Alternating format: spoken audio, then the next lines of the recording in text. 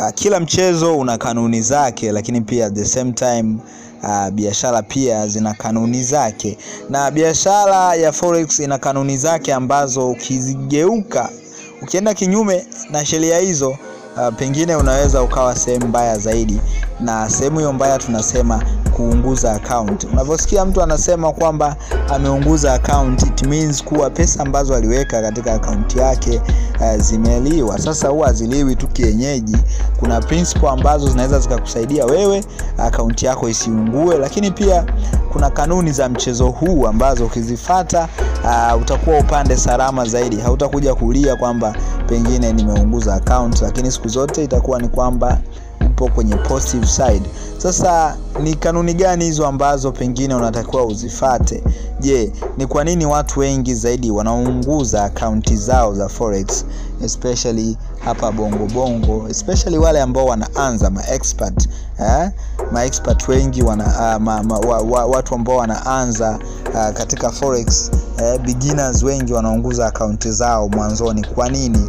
Uh, sababu zote nimeziweka hapa hapa na kukumbusha kusubscribe. Kama bado hujasubscribe, bonyeza hilo neno chini lenye wino mwekundu limeandikwa subscribe, kisha baada ya hapo itakuja kengele. Subiri kidogo, then gusa kengele hiyo, kisha gusa kengele hiyo kila video mpya na video zingine zote ambazo nimeweka, bila shaka utakuwa unaziona kupitia simu yako au kompyuta yako, na unavyoingia YouTube zitakuwa mwanzoni kabisa, na unaweza ukajifunza mafunzo mengi zaidi ambayo nimeyaweka hapa hapa. Moja kwa moja niende kwenye sababu ambazo zinapelekea watu wengi zaidi waweze uh, kuunguza kuunguza account. Namba moja ni kwa sababu watu wengi uh, wanashindwa kutumia vizuri lot size eh? Lot size. Lot size kama ufahamu, hii ni kama unit ambayo inatumika uh, kujua sasa kwamba ni faida gani na hasara gani unaweza ukaingiza. Uh, kama ufahamu tu lot size ni kwamba lot size inavyokuwa kubwa zaidi ina maana ya kwamba uh, una uwezo wa kuingiza faida kubwa zaidi, lakini pia the same time soko likienda kinyume unaweza kuingiza hasara. Kwa maana hiyo lot size lazima ujue kuitumia vizuri. Sasa lot size inategemea na pesa ulioweka. Hauwezi ukawa na dola hamsini then ukacheza lot size ya mbili, kwa sababu kama soko litaenda kinyume na wewe, muda mchache tu utakuwa kwenye hasara kubwa. Kwa lazima ufahamu pia matumizi ya lot size, na nimejaribu kukuelezea tu kiufupi. Lakini kitu kingine cha pili uh, ni tamaa. Uh, forex uh, inahitaji uwe mtu ambaye pengine una uwezo wa ku control emotion zako. Kwa mfano, tamaa ni moja ya vitu ambavyo si vizuri zaidi uh, ukiachana na forex lakini pia katika maisha yetu ya kila siku, pale ambapo unakuwa na tamaa uh, kupitiliza, pengine unaweza ukawa upande mbaya zaidi katika biashara. Katika forex usitamani kinyume na trading plan. Unapokuwa umeweka uh, mpango mkakati wa biashara yako kwamba mimi uh, at least kila siku niingize dola kumi zinanitosha. Usiwe na tamaa ya kusema kwamba leo kwa sababu zimefika dola kumi nahitaji kuingiza dola ishirini. Pengine soko linaweza likawa sio upande wako na uh, ukashindwa kuingiza faida na hivyo tena ukarudi kwenye upande ambao ni wa hasara. Kwa hiyo lazima usimamie msimamo wako lazima ucontrol ucontrol emotion zako, achana na tamaa. Sababu ya tatu, watu wengi wanaunguza akaunti zao ni uoga.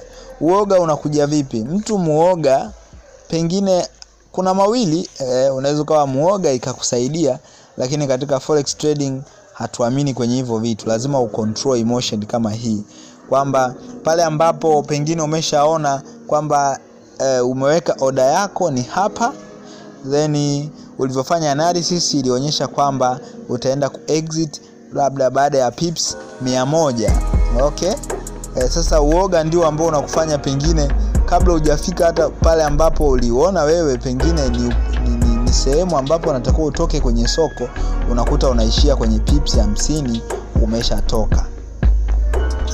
Au pengine kwamba unaogopa sasa kwamba okay mimi mimi bwana nataka niweke stop loss eh, kwenye ikifisha ikishafika pips mia tu niweke stop loss kwamba ijifunge sasa kumbe bahati mbaya zaidi soko likaenda kinyume na kwa pips mia alafu likarudi upande wa faida kwa hiyo uoga wako pengine unaweza ukawa ni njia ya wewe kufeli eh, katika forex trading na kuunguza account. Sababu nyingine ambayo nimekuwekea hapa ni discipline. Eh, ukikosa discipline katika forex wewe utakuwa sehemu si nzuri. Lazima uwe na discipline eh, kwamba umecheza sasa hivi umekula, baada ya masaa mawili umecheza umekula. Sasa inafika muda usi, usi, cheze. Unajua, ukishacheza ukala mara ya kwanza, ya pili, ya tatu at the same time utakuja kuona like ya, mbona nakula tu.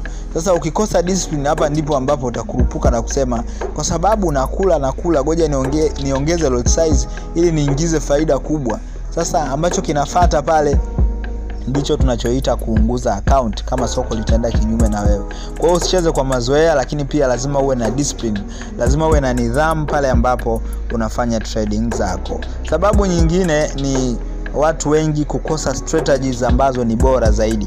Watu wengi especially beginners na watu ambao hawataki kusoma vitabu, hawataki kufanya research, wanakuja kufeli katika forex kwa sababu wanakosa strategies ambazo ni makini, wanayumbayumba, wanakuwa hawana msimamo kwamba strategies zipi ni nzuri zaidi katika forex trading, na hii ni kwa sababu anakuwa hafanyi research, kwa sababu inatakuwa ifike muda wewe uwe na trading system yako kuwa na trading system yako ni kwamba lazima utakuwa umefanya umetrade umefanya research ambayo itakuja kukuletea trading system ambayo unaiona hii kwangu ina faida zaidi uh, kuliko hasara. Lakini kitu kingine ni kwamba uh, watu wengi wanaamini zaidi katika signals ambazo pengine haziko verified.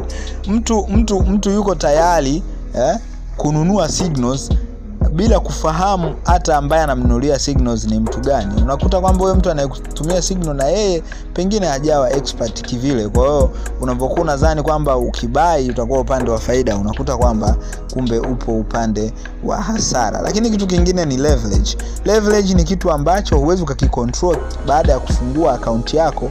Ni leverage ni kitu ambacho nakicontrol before hujafungua akaunti yako.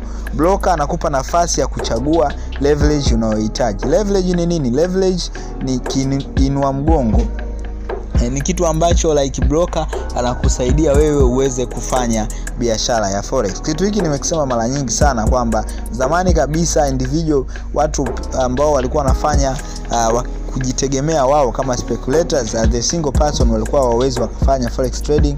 Kwa hiyo makampuni makubwa, benki ziliamua kuanzisha kitu kinaitwa leverage na kuweka watu ambao ni brokers ambao wao wanakuongezea pesa fulani baada ya kuweka pesa, na hiyo inaitwa leverage, na leverage inapimwa kwenye lesho lesho nzuri au leverage nzuri ni 500 lesho moja, na leverage inavyokuwa kubwa zaidi ina affect pip value. Kwa maana hiyo leverage inavyokuwa kubwa zaidi ina affect pip value, kwamba leverage ikiwa kubwa sana pip inakuwa kubwa zaidi. Kwa hiyo ni kwamba aidha utaingiza faida kubwa zaidi au hasara kubwa zaidi. Kwa hiyo lazima utumie uh, leverage ambayo nzuri. Sikushauri utumie leverage mfano ya 1000 ratio 1 na kushauri utumie leverage ya 500 uwiano uh, wa kwanza na hii itakuwa leverage nzuri zaidi ambayo itakusaidia wewe. So leo nilikuwa najaribu kushare vitu ambavyo vitakusaidia wewe usiunguze account, na hakikisha unaviweka kichwani ili viweze kukusaidia wewe pia siku zijazo. Lakini pia usisahau mambo ya broker. Broker ni muhimu zaidi pale ambapo unakuwa unamchagua. Uh, kwa majina naitwa Flado FX, napatikana kwenye namba 0754958520 na tunaweza tukaongea zaidi ukinitafuta kwenye hii namba, lakini pia subscribe to my YouTube channel kupata video zingine ambazo nitakuletea hapa hapa. Asante kwa kunisikiliza mpaka mara nyingine tena. Kwa wale ambao wanahitaji uh, msaada mnaweza mkashusha comment hapo chini katika comment section, then tunaweza tukakujibu kwa muda sahihi zaidi.